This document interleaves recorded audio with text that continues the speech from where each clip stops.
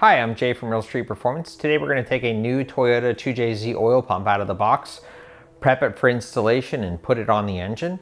Seems like a pretty basic operation, however there could be some mistakes made or manufacturing issues with the pump that you just want to look over before you put it on the engine. The first thing I'm going to do is I'm going to put the pump in a rod vise. It'll kind of hold the pump still for me. And I'm going to take the back plate off the pump. I'm going to take the rotors out of the pump and make sure that the oil bypass is not sticking.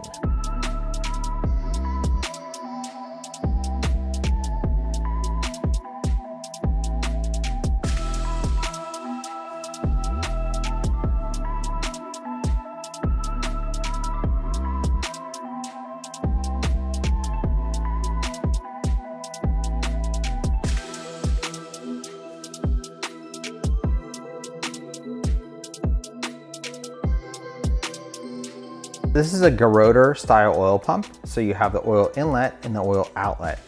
And what happens is oil is brought into the pump through this oil inlet and then it's met into basically the compression part of the pump right here where oil will enter, be pressurized, and then be exhausted out of the pump into the main galley that pressurizes all your bearings and cylinder head and all that stuff.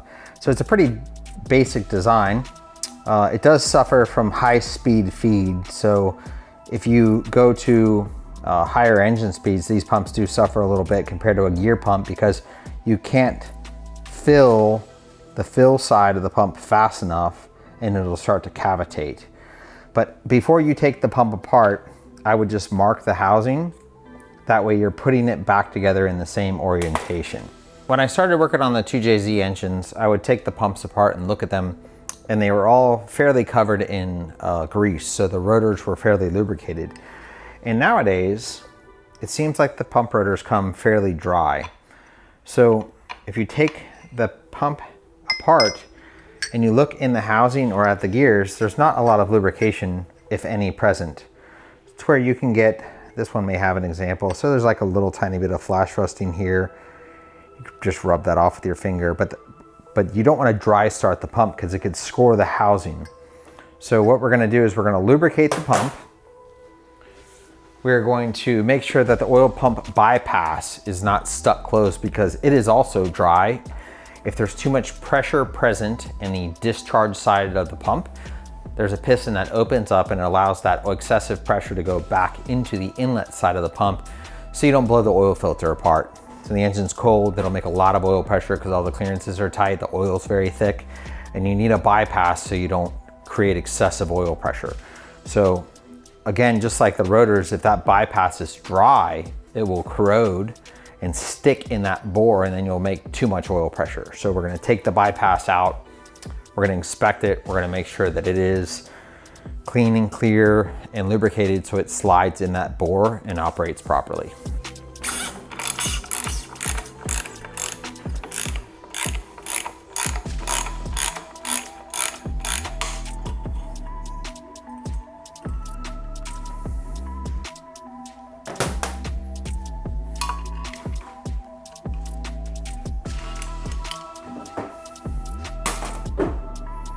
This is all the piston is, and as you can see, it's dry also. So this pump hasn't been sitting around very long because there's no corrosion on it. But like I said, Toyota used to have these things really lubricated. And then over time, it seems like they just got uh, cheap with the grease.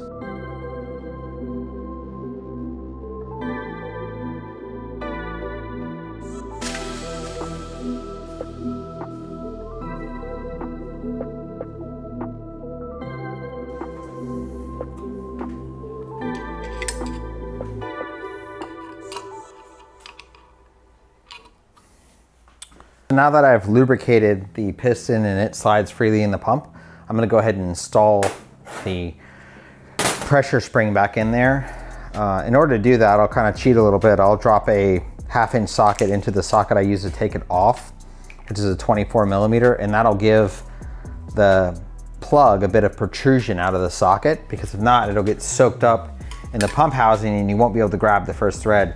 Keep in mind that this is all pretty sharp, so be careful with your hands as you put it back together.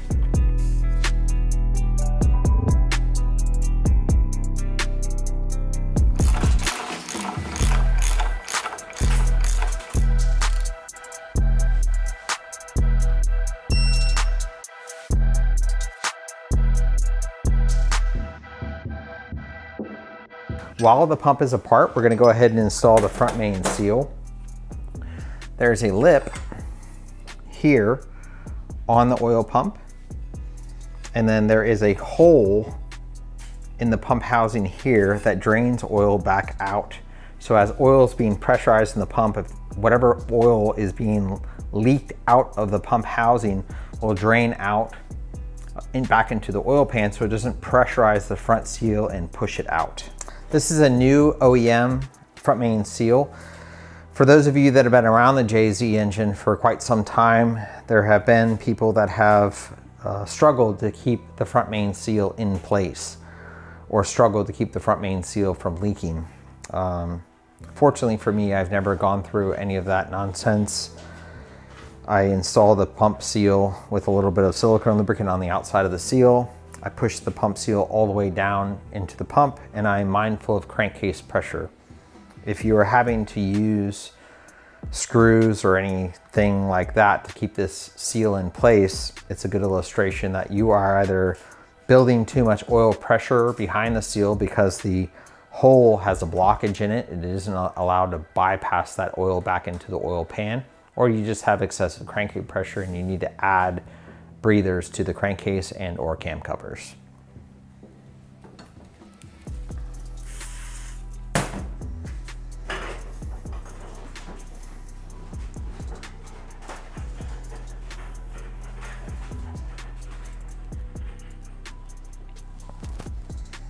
That's it. I just push it in by hand. I've got it bottomed on this edge evenly all the way around. And I am careful to not distort any of the seal housing. I push on the outside of the seal when I install it. This is just a uh, LS1 oil pump gear that I have for degreeing cams, but it fits that seal well.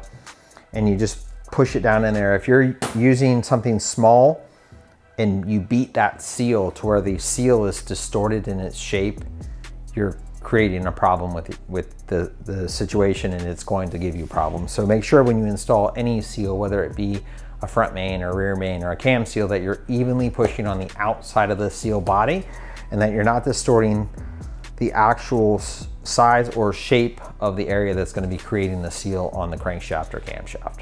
So now that we've installed the front main seal, I'm gonna put some assembly lube on the lip of it that's gonna ride on the crankshaft.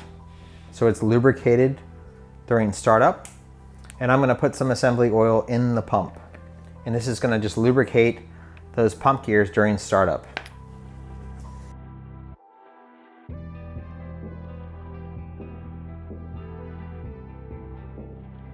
So same thing with some lubricant on the back plate because you don't want any of that aluminum and steel uh, scarring as it goes together during startup because it won't immediately grab a prime.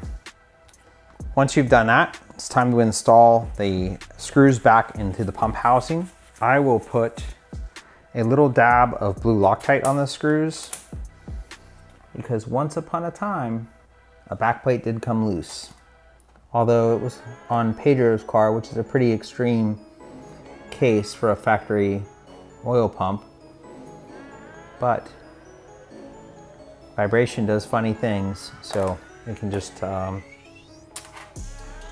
limit our liability there.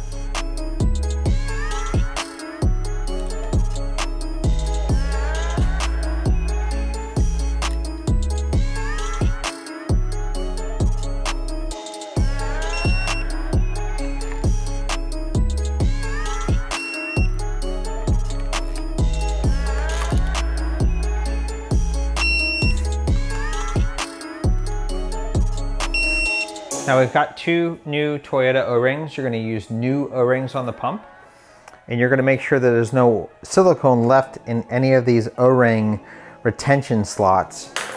These O-rings go in dry and they just pop in and sit there. If they don't want to pop in and sit there, you've probably got silicone left over in the radius or machined area of that cavity and you need to use a pick and scrape all that clean. So you've got your O-ring sitting there. So we're gonna put some silicone on the back of the pump and then it will be ready to put the pump on the engine. Silicone is gonna go in this cavity here and not in these cavities here. These two cavities are for overflow to keep when the silicone spooges out of this cavity to create a seal, it doesn't go into the oil galleys of the engine. So you're not gonna silicone in these sections, just this section here and then back behind each bowl hole.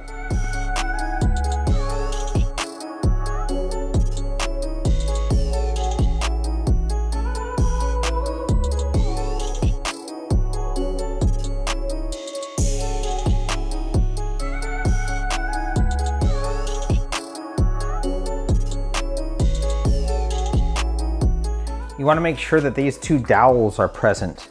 These dowels are gonna locate the pump and make sure that the oil pump gear is in, in alignment with the crankshaft. If you don't have these oil pump dowels and you put the oil pump on, you are going to have an alignment problem and it is going to destroy the pump and along with whatever engine components it takes with it.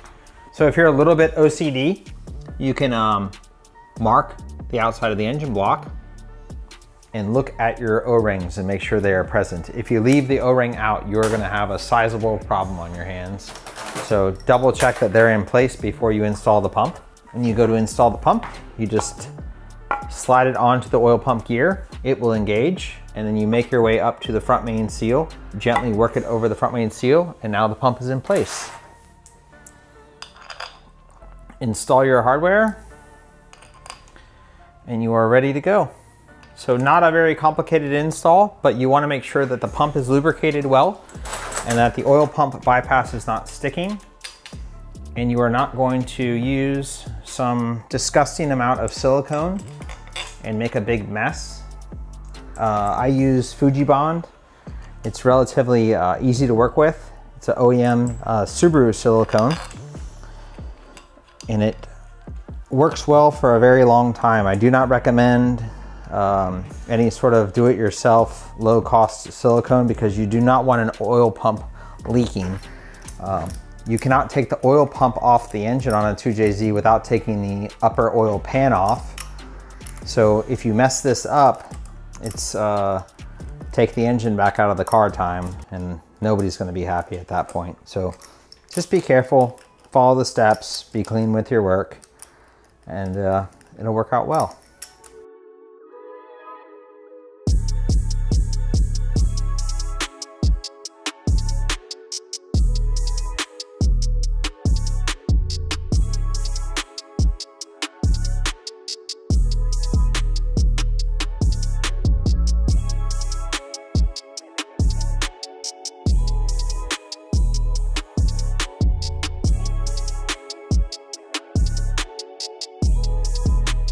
You get all these things done well and just follow the instructions I've given with the torque specs we've put on the screen, you should have a long and trouble-free life with your oil pump. Thanks for watching this video. We'll see you next time.